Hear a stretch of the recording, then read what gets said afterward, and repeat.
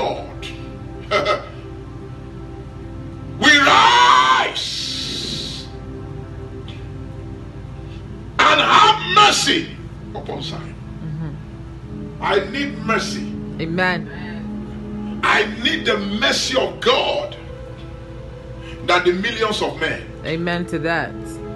When you have money without mercy, hmm. your life can still be in a mess. Yes, that's powerful.